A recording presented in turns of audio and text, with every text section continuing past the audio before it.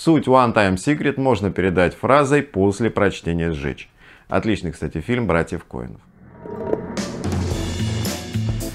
Всем привет, с вами Вова Ломов и Теплица социальных технологий.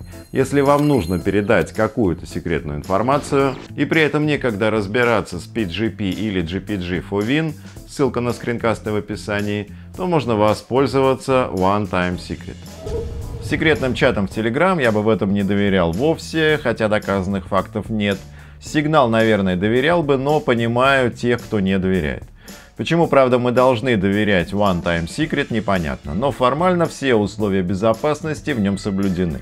Главное достоинство One Time Secret в том, что создаваемая ссылка на секрет действительно только до прочтения получателем. После прочтения тайна, давайте называть ее так, секрет мне не очень нравится, как-то это по-детски. Так вот, тайна удаляется. Как это работает? Пишем тайное сообщение. Далее забиваем фразу пропуск. Можно этого и не делать, но это является дополнительной защитой нашей информации. Выставляем, сколько будет храниться ссылка, сроки от 5 минут до 7 дней. Нажимаем «Создать ссылку» и вот она у нас появляется. Теперь мы можем ей поделиться. Ниже сама тайна, которую мы зашифровали фразой. Копируем ссылку, вставляем в браузер, требуется фраза-пароль, пишем, Нажимаем «Взглянуть на тайну» и вуаля, тайна раскрыта. Кстати, размер тайны может быть до 1 миллиона символов. Ну, то есть вполне себе война и мир. Хотя не знаю, сколько там символов, наверное, больше. Вернемся обратно к нашей ссылке и попробуем ее сжечь. А сжечь мы ее не можем. Почему? Потому что то, что уже сожжено, сгореть не может. Напомню, тайна сгорает сразу после прочтения. Функция «сжечь эту тайну» работает только в том случае, если получатель ее еще не открыл и не прочитал. Это может быть следующий фильм Коэнов «Сжечь до прочтения». Ну то есть давайте резюмируем. Ссылка удаляется, если кто-то по ней перешел, неважно кто, истек таймер самоудаления, либо вы нажали кнопку «Сжечь эту тайну». Ну и, собственно, мы переходим к главному, что может подорвать доверие к сервису. Вся вот эта схема работает только при условии, что вы передаете ссылку на тайну по зашифрованному каналу. Ну то есть, если вы все тут сгенерировали и передали и ссылку, и пароль через Telegram, то смысла, конечно, в этих тайнах нет. Злоумышленник перехватил сообщение, перешел по ссылке, и все ваши тайны на столе у товарища полковника. А передавать ссылку в зашифрованном виде, это значит прибегнуть к стороннему проверенному средству шифрования. А почему бы тогда и само сообщение сразу в нем не зашифровать? Поэтому тут есть такая функция «сгенерировать пароль».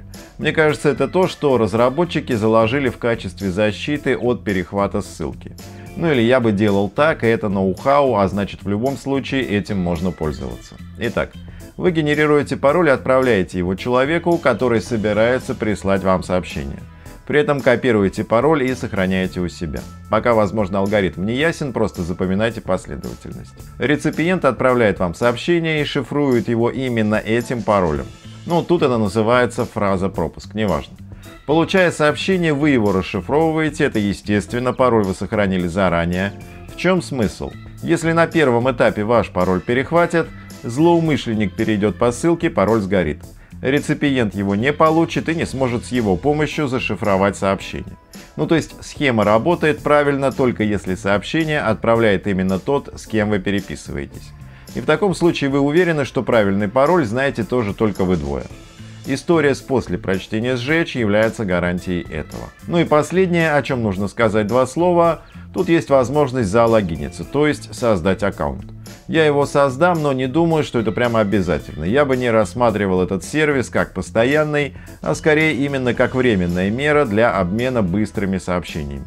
Но регистрация дает возможность хранить ссылку до 14 дней, отправлять секретный линк по почте и также предоставляет вам доступ к API One Time Secret. А API это уже хорошо. Что такое API, смотрите в одном из наших предыдущих скринкастов, ссылка в описании. Ну и в принципе, насколько я понял, One Time Secret можно поднять на собственном сервере, а это всегда дополнительная гарантия безопасности. Но темы, конечно, не для скринкаста, и есть у меня надежда, что мы к этой теме и вообще к теме кода рано или поздно приступим. Так что подписывайтесь на канал, ставьте лайки, оставляйте комментарии и любите друг друга.